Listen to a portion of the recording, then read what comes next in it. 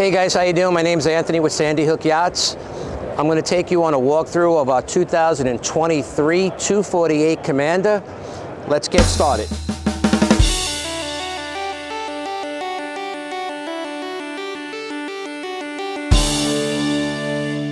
All right guys, I want to show you down here, we have Lenco trim tabs built in. We have underwater lighting. And coming back to the engine, we have Yamaha's new V6 4.2 300. We have this one colored in white, which is a good color combination for this boat. Okay guys, we're on the stern of the boat here. Uh, we have a built-in ski pylon for your tubing, your water skiing, uh, having fun with the kids. We also have your raw water and your freshwater washdown. We have some rod holders in the back, part of the Pro package. We have our swim ladder with the sea decking on the on the platforms. And uh, let me take you on the inside now. Seafox has a see-through pressurized live well that's backlit. Coming under here, you can use this for either storage or a uh, fish, a live well for your fish you catch, or your cushions are removable for your days that you want to do fishing, just put everything away. We have a fill-in cushion for over there. The backrest will come forward on the door and it creates beam-to-beam seating. Okay guys, we're at the helm of the boat. We have this one optioned out with two Garmin screens. We have your Fusion upgraded stereo system. We have your digital throttle and shift for your Yamaha engines. This one also has windlass. Uh, all your rocker switches are backlit and recessed. Part of the Pro package also, you have your sea decking, floor matting and your footrest little glove compartment here for your connectivities and a little bit of storage.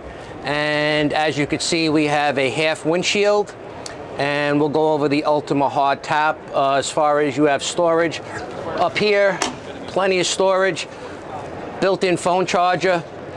As you can see, we have the mood lighting all recessed, all your switches for your spreader lights and your nighttime lighting and uh, all our powder coating on your rails for your T-top are in uh, are in white. We have a electric head, usable, plenty of storage space. Um, makes the days being out on the water a little bit easier, and uh, it's nice size, so uh, more than usable. All right, guys, we're on the bow of the boat, and as you can see, uh, we have the table in the down position. Uh, it comes with a, a, stanchion, a leg to have it up for when you want to have lunch, cocktails, uh, snacks, or whatever. But right now we have it with the fill-in cushion.